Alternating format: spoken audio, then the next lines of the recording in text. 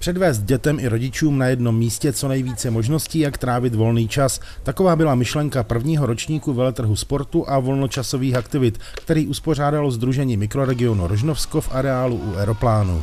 Dopoledne bylo určené pro žáky prvního stupně základních škol, a to nejen rožnovských, ale škol z celého mikroregionu. Uh, účast byla řádově ve stovkách. Děti si mohly zacvičit spolu s Šárkou Kašpárkovou, s olympioničkou, uh, rozcvičit se, udělali si společnou rozcvičku a poté se rozběhli na jednotlivá stanoviště, kde si mohli vyzkoušet všechny sporty. Odpoledne pak do sportovní haly a na fotbalové hřiště zamířili s dětmi i rodiče. Svou činnost předvedlo 35 klubů, oddílů a kroužků a děti si mohly vyzkoušet třeba i první jízdu na skokanských lyžích. Připraven byl mobilní můstek.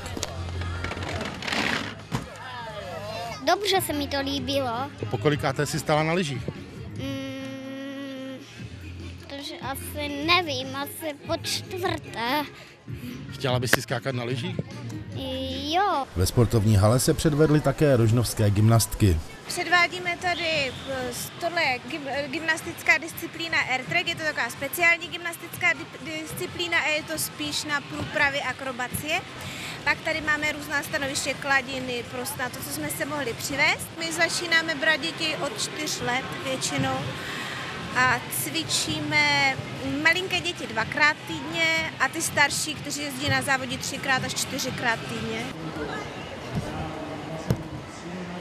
Další sport představili stolní tenisté. Ti vychovávají kolem 15 mladých zájemců o tuto disciplínu. Stolní tenis má tu výhodu, že to je relativně nenáročný sport, není náročný na nevím, prostředí nebo něco podobného jako třeba hokej nebo nevím, plavání.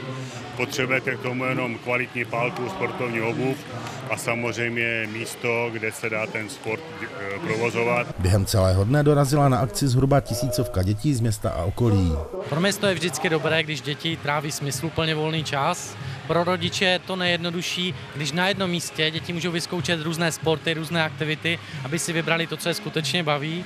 No a pro kluby a oddíly je ideální, když v jednu chvíli můžou co nejvíce dětem nabídnout svoji činnost. Takže nechali jsme se inspirovat v jiných městech, mikroregion Rožnovsko a město spojili síly a tak vznikla dnešní akce. Do přípravy se kromě trenérů a vedoucích kroužků zapojili také členové tělovýchovné jednoty. Pořadatelé už teď plánují na příští rok další ročník akce.